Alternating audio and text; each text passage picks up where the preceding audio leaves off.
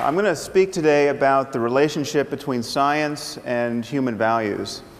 Now, it's, it's generally understood that, that questions of morality, questions of good and evil and right and wrong, are questions about which science officially has no opinion. It's, it's thought that science can, can help us get what we value, but it can never tell us what we ought to value. And, and consequently, most people, I think most people probably here, think that science will never answer the most important questions in human life. Questions like what is worth living for, what is worth dying for, what, what constitutes a good life. So I'm going to argue that this is an illusion, that the separation between science and human values is an illusion, and actually quite a dangerous one at this point in human history. Now, it's often said that science cannot give us a foundation for morality and human values because science deals with facts and facts and values seem to belong to different spheres. It's often thought that there's no description of the way the world is that can tell us how the world ought to be. But I think this is quite clearly untrue. But values are a certain kind of fact. They are facts about the well being of conscious creatures. Why is it that we don't have ethical obligations toward rocks? Why don't we feel compassion for rocks? It's because we don't think rocks can suffer. And if we're more concerned about our fellow primates than we are about insects, as indeed we are, it's because we think they're exposed to a greater range of potential happiness and suffering. Now, the, the crucial thing to notice here is that this is a factual claim. This is something we could be right or wrong about. I mean, if we've misconstrued the relationship between biological complexity and the possibilities of experience, well, then we could be wrong about the inner lives of insects.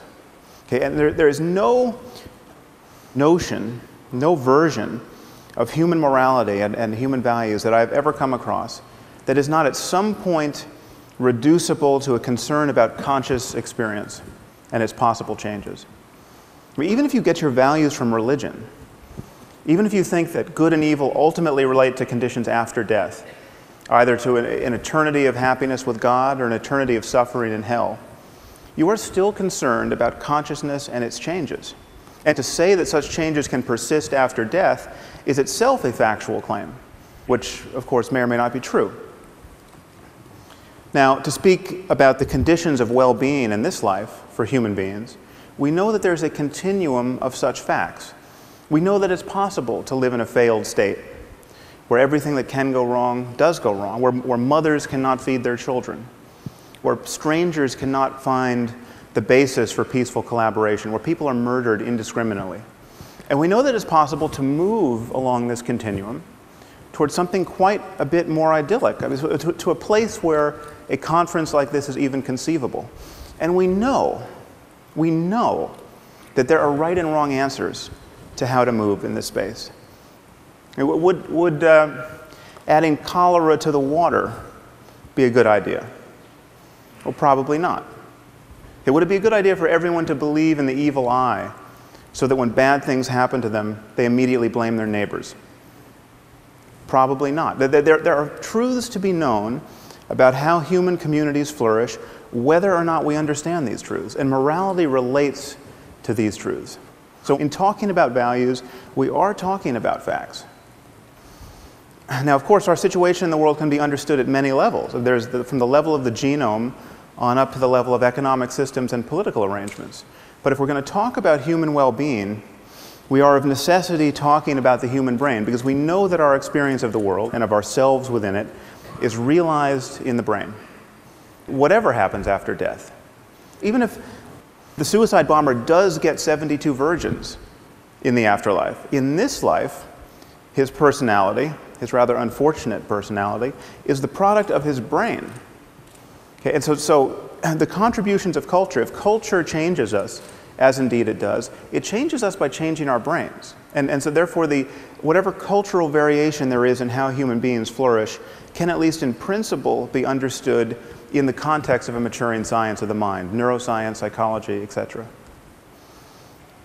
So what I'm arguing is that values reduced to facts, to facts about the conscious experience of conscious beings, and we can therefore visualize a space of possible changes in the experience of these beings. And I, I, think of this as a kind of moral landscape with peaks and valleys that, that correspond to differences in the well being of conscious creatures, both personal and collective. And one thing to notice is that perhaps there are states of human well being that we rarely access, that few people access, and these await our discovery. Perhaps some of these states can be appropriately called mystical or spiritual. Perhaps there are other states that we can't access because of how our minds are structured, but other minds possibly could access them. Now, let me be clear about what I'm not saying. I'm not saying that science is guaranteed to map this space, or that we'll, we will have scientific answers to every conceivable moral question. I don't think, for instance, that you will one day consult a supercomputer to learn whether you should have a second child, or whether we should bomb Iran's nuclear facilities, or whether you can deduct the full cost of TED as a business expense. but if questions affect human well being, then they do have answers, whether or not we can find them. And just admitting this, just admitting that there are right and wrong answers to the question of how humans flourish, will change the way we talk about morality. And will change our expectations of human cooperation in the future.